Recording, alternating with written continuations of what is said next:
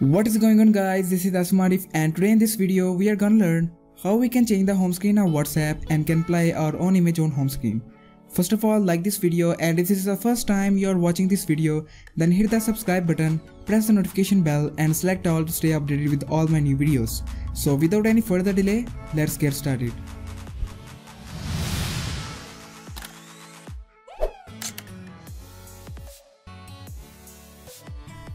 So guys first of all you will have to take the backup of the chats as this feature is not available in the official WhatsApp.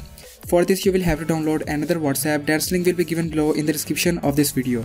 So first of all go to your original WhatsApp. Tap on the three dots in the upper right corner of the screen and select settings. Then chats, chat backup and tap on this backup button to take the backup of the chats. As I don't have any important chats available in WhatsApp so I will not take the backup but you must take the backup if you have important chats available in your WhatsApp.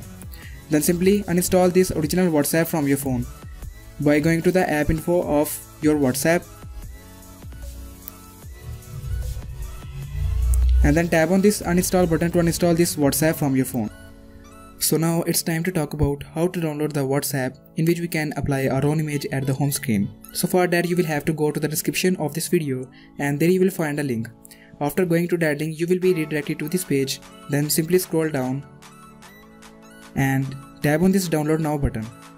After tapping on that you will find three links then in front of com.fm WhatsApp you will find another download link then simply tap on this download link to download this WhatsApp then simply install that WhatsApp in your phone and its name is FM WhatsApp. Now tap on agree and continue and write your number here to complete the verification process. After that tap on the next button and it will start initializing.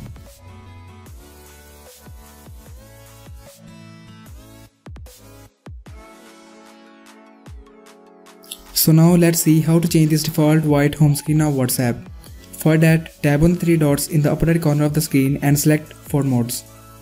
Then Universal, Colors, Background and select the photo from your gallery that you want to apply at the home screen. And then tap on the set button. And that's it.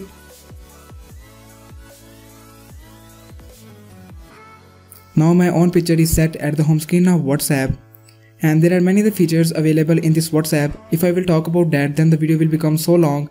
So if you want another separate video on the features of this WhatsApp then comment below in the comment section.